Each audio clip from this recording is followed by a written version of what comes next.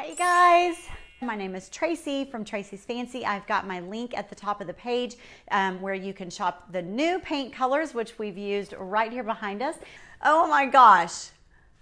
D ignore the candle holders on top of the armoire. These are two of the new colors. This is called French linen and it is amazing. This is it right here. So one 16 ounce jar covered in one coat, all of the surface, including this whole side, and it, the coverage is amazing. I don't even need to do a second coat, and I won't do a second coat. So um, we're talking about using this other new color, which the link also goes straight to, and it's called Antebellum Blue.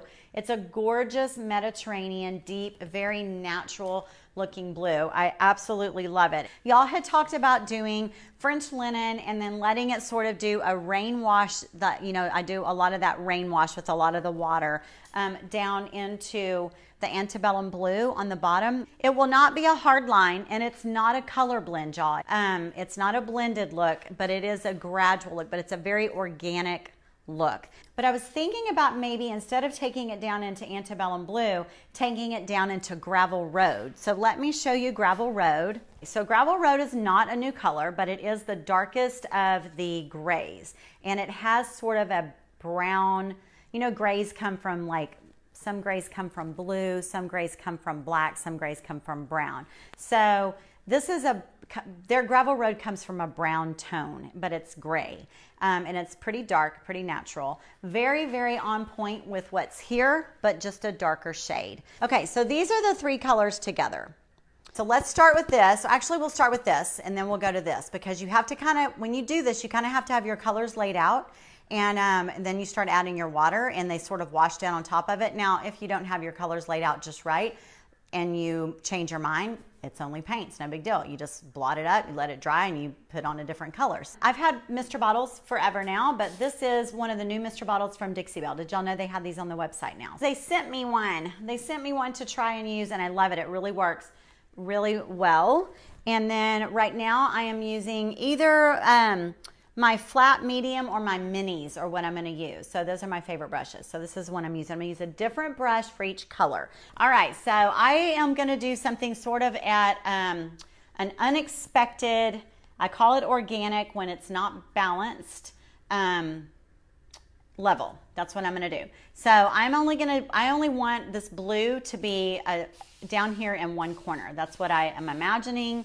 So I'm taking my mister bottle and I go ahead and I spray my piece pretty good, not a lot, but pretty good. And I'm gonna get my paint and my brush. I usually go ahead and mist my brush a little bit as well. Can y'all see me? So I'm misting my brush a little bit. And then I'm just gonna dip in and I am gonna start just painting. So it's just gonna be a pop. It's very wet this process that I'm doing right now is a very wet and messy process. So wherever you're doing this, expect a lot of runoff. Make sure you have a tarp. Now the thing about doing this sort of look is that you're never gonna have a pure color. It's, it's never going to just look like antebellum blue.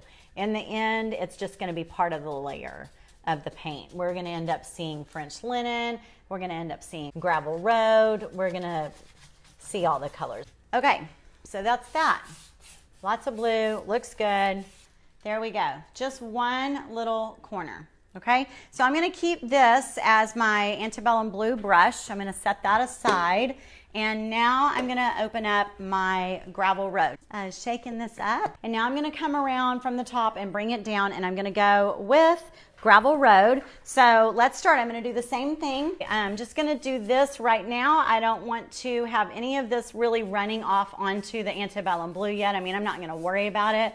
And I do go ahead and close up the line here between the two of them. At first, see, this was really hard for me to learn to paint like this, y'all. I this was very difficult. It was hard, but I love it now. I mean, it's there's no, you don't have to be nervous. You know, you don't have to feel rushed. You it's so freeing. You really should try it. You really should try to just pick a piece of furniture and th- literally start throwing some color down on it. Now, wow, the gravel road with the antebellum blue looks really good where they meet, where they're coming together here. So real quick, we're gonna do a little bit of blending. It's not blending, I'm sorry I call it blending. We're gonna blend with water. um, and it's far less than perfect. So here we go. I've got my antebellum blue brush. I just spray it, get it nice and wet. Still got my uh, Gravel Road brush. So I'm gonna get it a little bit wet here, a little bit of the paint, and start just really adding some water to it. There we go. And then the blue color down below it, I want that there to be enough of that that they can kind of start marrying. Um, and you just really got to soak it. And you have to let it sit for just a minute because that paint has to be reactivated. So you let it reactivate and you just soften the edge with the paint. You, I mean, with the water. And I mean, it's dripping. It'll start dripping. You just soften that edge just like that. You want it to soften down. I don't want any hard edge left. Now, how do I soften the edge up there? I'm going to end up doing the same thing up top um, I'll go back up in here and I'll re-wet this and I'll bring some French linen in back above it, wet. I'll spray it and I'll paint French linen again and spray it again and it'll start blending down into this. So do you see what's happening right here? Now it looks pretty drippy, right? And I know some of you don't really like the drippy look. I love it, but I don't want it, if you don't want it super drippy like this, um, let's see if I can get you in here even closer. If you don't want it really, really drippy, then you just take your water bottle and you just spray it again. You just keep spraying that. And you can kind of, you can send it, look at that. You can send it over there if you want. You can send it this way. You can spray real hard and you can get French linen to come back through. You want me to bring through, bring through some French linen like right here. Do you see this? Let's bring French linen back through. You see that coming through?